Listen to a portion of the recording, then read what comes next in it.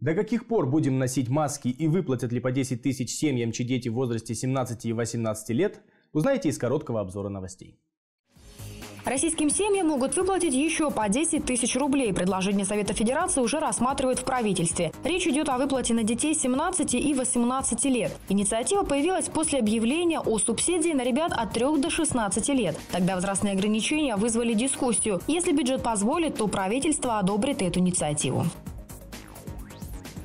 В России за полгода стоимость автомобилей выросла в среднем на 7% и продолжит расти. Специалисты связывают это с девальвацией рубля и снижением производства. В частности, автомобили Hyundai за последние полгода подорожали на 2,5%, а Mitsubishi на 3,5%, Volkswagen на 5%, BMW на 10%. Отечественные бренды тоже не остались в стороне. Все легковые УАЗы подорожали примерно на 45 тысяч рублей. Лидер рынка «АвтоВАЗ» повысил цены на «Ладу Весту» примерно на 15 тысяч.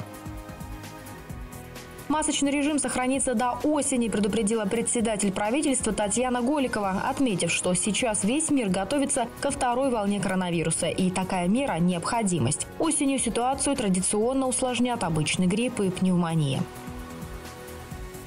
Парад ретротехники в Новом Уренгое отменен. Однако всероссийская акция «Звон Победы» состоится. 24 июня ровно в полдень на одну минуту раздастся гудок всех транспортных средств одновременно. От личных авто до общественного и делового транспорта, поездов и кораблей. Присоединиться к «Звону Победы» призывают и всех новоуренгойцев.